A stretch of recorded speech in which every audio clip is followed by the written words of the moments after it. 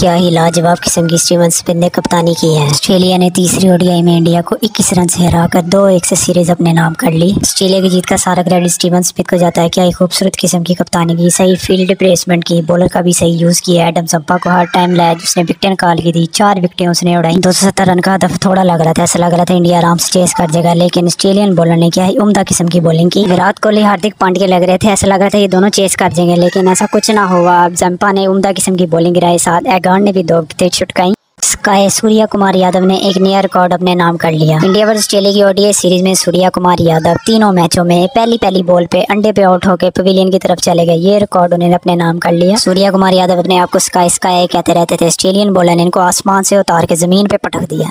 एक बहुत ही बुरी खबर निकल के सामने है पाकिस्तान टीम अब बिना बैटिंग कोच के अफ़गानिस्तान के साथ टी ट्वेंटी सीरीज़ खेलेगी। मोहम्मद यूसुफ को अफ़गानिस्तान के साथ सीरीज़ के लिए इंटरम बैटिंग कोच लगाया था। यूसुफ ने पर्सनल रीजन की बिना पर पीसीबी को बता दिया है कि मैं अफ़गानिस्तान के साथ टी ट्वेंटी सीरीज़ के लिए बैटिंग कोच नहीं लग सकता तो इसलिए उन्होंने माजरत कर ली है पीसीबी से बैटिंग कोच के लिए।